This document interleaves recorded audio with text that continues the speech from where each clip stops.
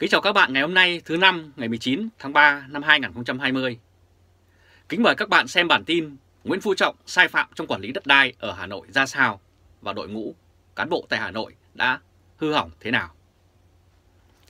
Ngày 18 tháng 3 năm 2020, Thanh tra thành phố Hà Nội vừa công khai kết luận vi phạm tại dự án tổ hợp dịch vụ công, văn phòng và nhà ở tại phường Tây Mỗ, quận Nam Tử Liêm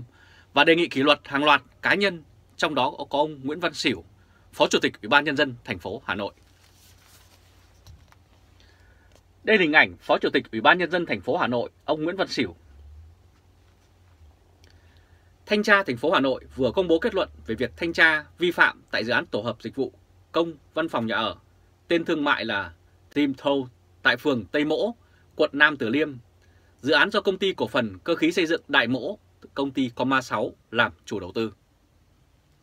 Theo kết luận của cơ quan điều tra, trong quá trình thực hiện dự án, công ty Coma 6 và một số công ty khác đã để xảy ra nhiều sai phạm. Theo đó, công ty Coma 6 đã sử dụng 37.238,6 m2 đất tại Tây Mỗ, huyện Tiểu Liêm, nay là phường Tây Mỗ, quận Nam Tử Liêm, từ năm 1966 để sản xuất cơ khí. Năm 2008, công ty Coma 6 tiến hành lập dự án và đề nghị Ủy ban nhân dân thành phố Hà Nội cấp giấy phép chuyển đổi mục đích sử dụng 37.000 m2 đất thuộc sở hữu của công ty này. Đến năm 2009, Ủy ban nhân dân thành phố Hà Nội đã chính thức chấp thuận cho phép Comma 6 nghiên cứu, lập và thực hiện dự án với tổng mức đầu tư ban đầu là gần 283 tỷ đồng. Kết luận thanh tra cho biết, báo cáo tài chính năm 2008 chưa được kiểm toán, ghi nhận tính đến ngày 31 tháng 12 năm 2008, nguồn vốn chủ sở hữu của công ty Comma 6 là 24 tỷ đồng, không đảm bảo 20% tổng mức đầu tư của dự án. Tổng mức đầu tư dự án được tính là 283 tỷ đồng. Mặc dù Sở Tài chính đã yêu cầu công ty tiến hành các thủ tục để được bổ sung vốn điều lệ và tăng nguồn chủ sở hữu theo đúng quy định hiện hành, nhưng Sở Kế hoạch và Đầu tư lại không yêu cầu công ty này bổ sung vốn điều lệ và tăng nguồn vốn chủ sở hữu mà vẫn ban hành văn bản số 1148 ngày 26 tháng 11 năm 2009 báo Ủy ban nhân dân thành phố Hà Nội đề nghị cho phép công ty Coma 6 nghiên cứu, lập và thực hiện dự án. Văn bản này do ông Nguyễn Văn Xỉu, khi đó làm Giám đốc Sở Kế hoạch Đầu tư, ký. Và theo kết luận thanh tra, các trách nhiệm trong sự việc thuộc phòng đô thị Sở Kế hoạch Đầu tư từ thời điểm năm 2009-2010, nay là phòng quản lý ngân sách. Ông Nguyễn Văn Tứ, Phó Giám đốc Sở Kế hoạch Đầu tư vào năm 2010 và ông Nguyễn Văn Xỉu, Giám đốc Sở Kế hoạch Đầu tư đầu năm 2009 đến đầu 2010 đã ký văn bản theo đề xuất của phòng ban chuyên môn và thiếu sự kiểm tra xem xét. Đây là hình ảnh dự án Dreamto tại Tây Mỗ, Nam Từ Liêm, Hà Nội. Cơ quan thanh tra kết luận, điều này trái với quy định khoản 3 điều 6 quyết định số 22 trên 200 2007 ngày 9 tháng 2 năm 2007 của Ủy ban nhân dân thành phố Hà Nội. Trong đó quy định như sau: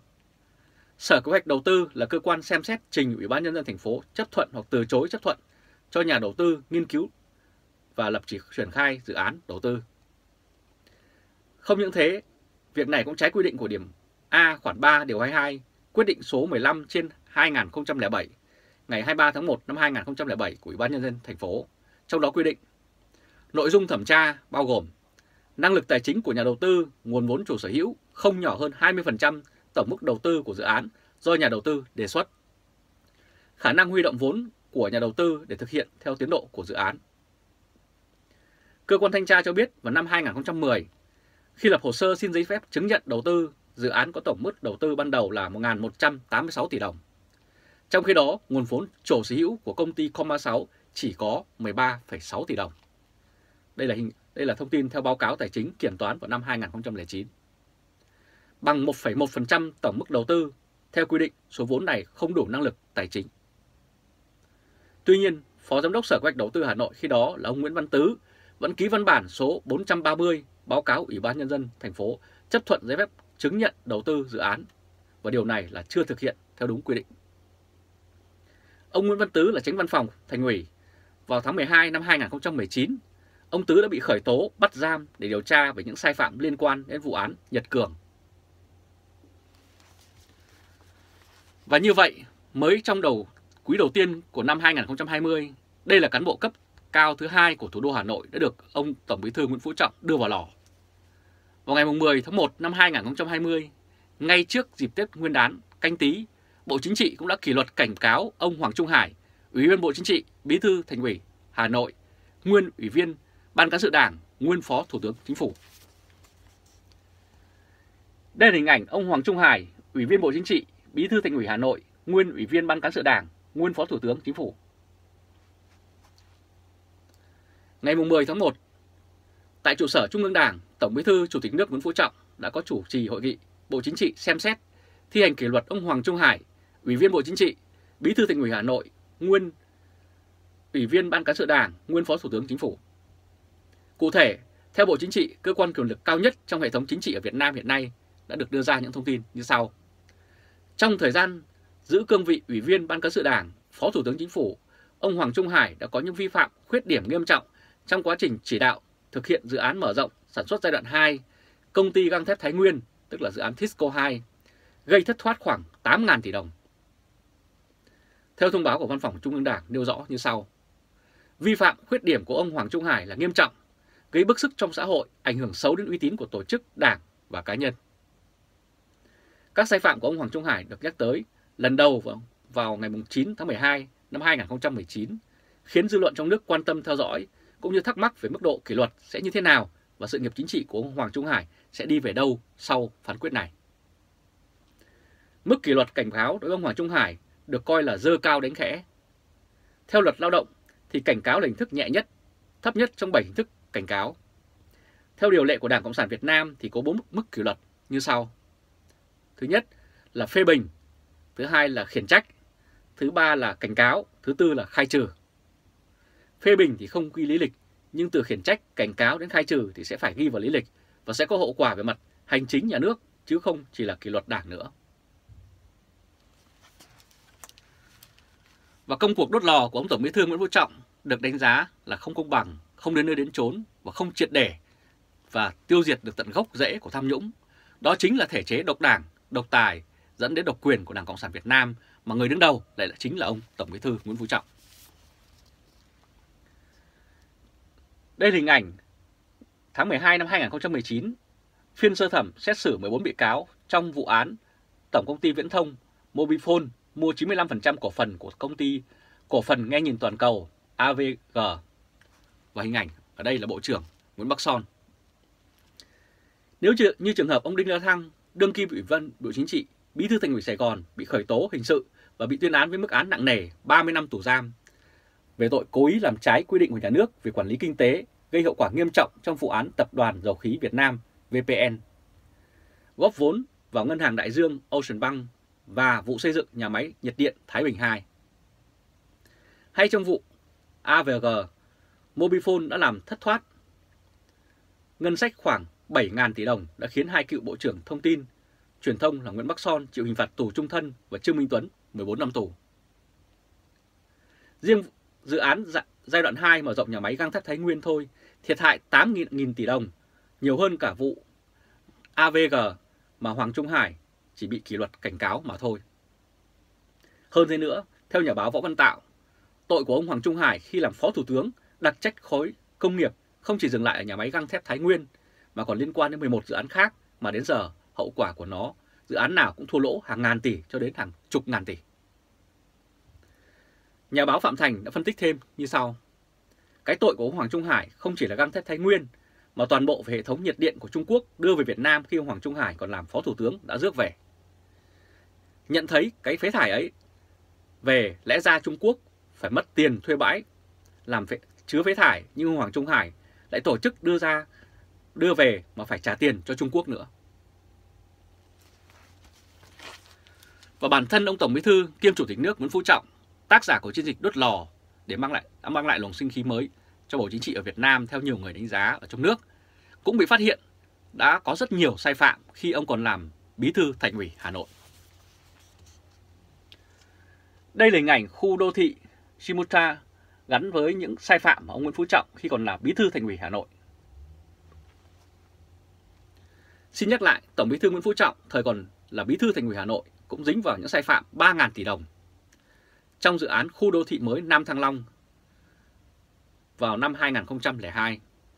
Đây là một dự án bất động sản đầu tư nước ngoài lớn nhất Việt Nam thời đấy giờ với số vốn đầu tư đăng ký lên tới 2,11 tỷ đô la của tập đoàn Siputra từ Indonesia làm chủ đầu tư. Đó là việc nhằm giúp tập đoàn Siputra trốn mức thuế sắp áp dụng từ đầu năm 2005. Khi đó ông Hoàng Văn Nghiên, nguyên chủ tịch Ủy ban nhân dân thành phố Hà Nội và bí thư thành ủy Nguyễn Phú Trọng đã thống nhất ưu tiên cho tập đoàn Simotra nộp thuế theo mức đặc cách. Quyết định của ông Nghiên, ông Trọng đã giúp Simotra đem lại siêu lợi nhuận cho nhà đầu tư và có những đồn đoán cho biết chủ đầu tư có thể đã hối lộ cho những cán bộ chủ chốt của Hà Nội lúc đó lên tới hàng triệu đô la. Tuy nhiên, cho đến hơn một năm sau, việc xin cấp sổ đỏ của hàng nghìn biệt thự tại khu vực đô thị Nam Thăng Long, Shimuja đã gặp trở ngại do cố tình áp sai thuế một cách nghiêm trọng. Việc này đã khiến liên ngành thành phố gồm Sở Tài chính, Sở Tài nguyên Môi trường và Cục Thuế Hà Nội buộc phải đi đến kết luận và quyết định đề nghị Ủy ban nhân dân thành phố Hà Nội sung thêm 1.400 tỷ đồng tiền sử dụng đất đối với dự án Simotra trong số 3.000 tỷ đồng thất thoát do ông thời gian ông Nguyễn Phú Trọng làm bí thư thành ủy Hà Nội gây ra. Và không chỉ liên quan trực tiếp đến sai phạm tại khu đô thị mới Nam Thăng Long, Simusha, ông Nguyễn Phú Trọng cũng có một vai trò nhất định trong vụ xẻ thịt rừng phòng hộ Sóc Sơn gây bức xúc trong dư luận cả nước suốt nhiều thời gian vừa qua. Đây là hình ảnh rừng phòng hộ Sóc Sơn đã bị xẻ thịt bởi biệt phủ mà ông Nguyễn Phú Trọng có liên đới trách nhiệm khi còn làm bí thư thành ủy Hà Nội. Vụ việc biệt thự của ca sĩ Mỹ Linh và biệt thự biệt phủ của họa sĩ Thành Trương được xây trên rừng phòng hộ đã gây lên nhiều ý kiến trong suốt nhiều năm qua. Từ năm 2001, vợ chồng ca sĩ Mỹ Linh nhận chuyển nhượng diện tích 12.691 m2 đất của ông Đỗ Xuân Lâm, nguyên là công nhân lâm trường. Việc chuyển nhượng được Ủy ban nhân dân xã Minh Phú xác nhận. Ủy ban nhân dân huyện Sóc Sơn cấp giấy phép chứng nhận quyền sở hữu đất ở với 600 m2 trên tổng diện tích là 12.691 m2 đất rừng phòng hộ. Năm 2006, Thanh tra Chính phủ phát hiện nhiều sai phạm sau khi kiểm tra việc quản lý sử dụng đất rừng tại Lâm Trường Sóc Sơn và 9 xã như Minh Phú, Minh Chí, Hiền Ninh, Phú Linh và nhiều xã khác. Nhưng khu vực này lại thoát hiểm được một cách thần kỳ để đến năm 2009, ca sĩ Mỹ Linh này đã xây dựng thành công công trình nhà ở, phòng thu và các công trình phụ cận như một nhà ở và một phòng thu diện tích khoảng 390 m2, một bể bơi khoảng 60 m2, Ngoài ra, gia đình ca sĩ Mỹ Linh còn xây dựng nhà để xe, các công trình phụ trợ khác. Trong khi đó, đương kim Tổng Bí thư nghiêm kiêm Chủ tịch nước Nguyễn Phú Trọng làm Bí thư Thành ủy Hà Nội từ tháng 1 năm 2000 cho đến ngày 26 tháng 6 năm 2006. Trách nhiệm của cựu Bí thư Hà Nội ở đâu trong việc hủy hoại rừng phòng hộ, hộ Sóc Sơn đã diễn ra trong suốt hai thập kỷ qua. Nhưng cuộc đốt lò sẽ đi đến đâu khi mà bản thân người đốt lò vĩ đại cũng phải chịu trách nhiệm trong rất nhiều sai phạm đó. Quyết tâm chống tham nhũng của ông Trọng mà ông luôn rêu rao là không có vùng cấm, không có ngoại lệ. Bất kể người đó là ai, cuối cùng thì cũng chỉ là không tưởng mà thôi. Các bạn vừa theo dõi chương trình truyền hình trực tiếp của Lê Trung Khoa Thời báo.de ngày hôm nay, thứ năm ngày 19 tháng 3 năm 2020. Các bạn hãy chia sẻ video này cho nhiều người biết và bấm nút theo dõi YouTube và Facebook của Thời báo.de để luôn được cập nhật những bản tin mới nhất nhanh nhất và trung thực nhất. Từ thủ đô Berlin, Cộng hòa Liên bang Đức, kính chào các bạn và hẹn gặp lại các bạn vào bản tin lần tới. Trung Khoa, Thời báo.de